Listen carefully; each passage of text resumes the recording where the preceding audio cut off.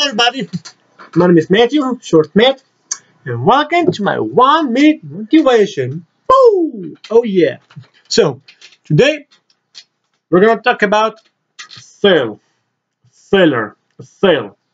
So, a lot of people are uh, scared of, you know, of fail, of, I, I don't know, they will, you know, fail something, so they, they just, I don't know, don't do it because they're afraid to fail.